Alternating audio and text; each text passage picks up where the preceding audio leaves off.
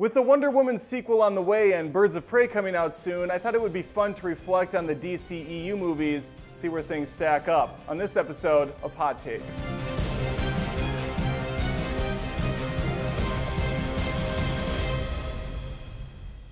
How do I eloquently describe the Suicide Squad? Other than saying it's a pile of human waste. And that is really the nicest way I could phrase it. The story is utter nonsense and the direction is comically bad. It feels like a movie that was completely changed in the editing room. There are 600 pop songs in this thing, all within the first 10 minutes, and some of which that have been butchered beyond repair. Eminem song comes to mind. There's no central character, the villain is a twerking mess, and Jared Leto's Joker is a billboard of stupid. Now, at a certain age bracket, this movie becomes very watchable. Hell, even enjoyable. My seven year old son, for instance, thinks it's awesome, as he's a big fan of Killer Croc. So, unless you're a small child, you have Margot Robbie to look at and really nothing else. My turn. So that's it, huh? Or some kind of Justice League. It's remarkable how underwhelming this movie was. It had Wonder Woman, Batman, Superman, The Flash, and Aquaman. Most of these characters are top of the food chain in popularity, yet it failed so badly to resonate with the audience. Director Zack Snyder gets a lot of crap online, and I think that's because they have to offset the die-hard fans he also has. I myself happen to really appreciate Snyder's filmmaking, and I have no doubt that he would have made a truly epic Justice League had he not been dealing with a personal tragedy, which led to a second tragedy, this film. Much like Suicide Squad, Justice League feels like two completely different movies mashed together. And that's probably because it was. Joss Whedon added color, comedy, and some truly lame moments to what was clearly another bleak Snyder affair. That said, it moves at a brisk pace, and there are some cool action moments. It feels very cartoonish due to some poor dialogue, a campy Batman, and that sad, sad CG mustache. And also much like Suicide Squad, it's something I think kids would really enjoy. Then again, they enjoy all the Shreks. All of them. bitch brought the The Citizen Kane of superhero movies to some. Not even joking. BVS to me is a painful mess. A beautifully shot mess, but a mess nonetheless.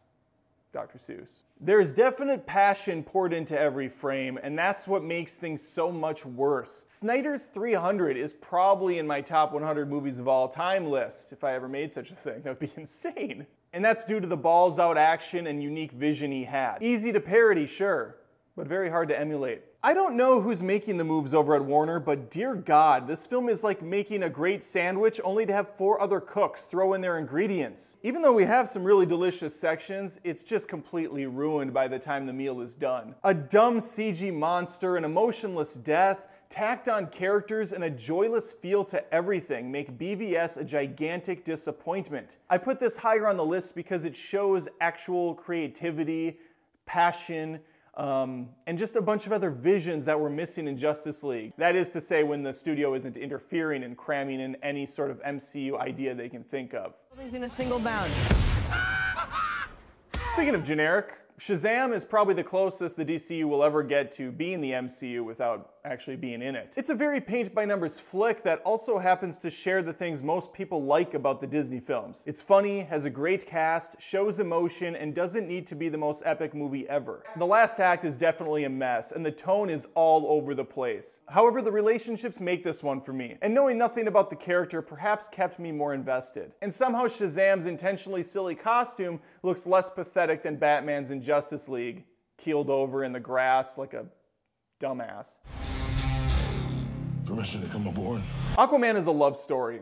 A rom-com, a globe-trotting adventure, a horror film, a dramatic struggle for power. It's dumb, loud, epic, cheesy, slick, and everything else. This is one of the most inconsistent films I've ever seen. Nothing adds up. The music ranges from a song ripped from Gladiator to Pitbull butchering a classic Toto jam. There's so much idiocy jam-packed into this adventure, I can't help but laugh and find joy in it. Plus, as a bonus, if you're in for an action movie one day and a mystery the next, you can just watch a chunk of Aquaman. It has everything you didn't know you needed, and far too much more. I had no interest in the Wonder Woman movie. She was shoved into Dawn of Justice with no character or backstory, and Gal wasn't exactly the spitting image of a strong Amazonian. Or a beauty, of course. But the last remaining weapon by Zeus? Hardly believable. I thought all this until I saw Wonder Woman. Now I'm a believer. She carried the picture with ease and quickly became one of my favorites in the DCEU. The dramatic romance set to the backdrop of World War I also worked very well. A lot of people knocked the final act, but I dug the crazy power of love leveling up. Yes, Ares looked pretty ridiculous, but considering the current Warner lineup, I mean, I'm gonna take a win where I can get it. Man of Steel was the beginning of the Snyderverse, a drab, somber affair that really digs into Kal-El's origins. I always liked Richard Donner's Superman movies, probably the same way that kids like the Suicide Squad today. Young, naive, full of hope. But those that say the Donner movies hold up are fully tricking themselves. They're just laughably outdated in the effects department, there's no other way around it. It's just that the tech has grown incredibly fast, and Snyder takes full advantage. Man of Steel has his fair share of haters, and some of those criticisms are fair. I still have zero issue with Kal-El and Zod causing massive destruction as they battle. Those are the consequences that should be shown, and the movie wasn't called Superman for that reason. This is the best Superman movie I've seen, and I'm bummed that Henry Cavill didn't get to truly become the character. Instead, having an origin, being promptly killed off, being resurrected, only to be killed off again off camera.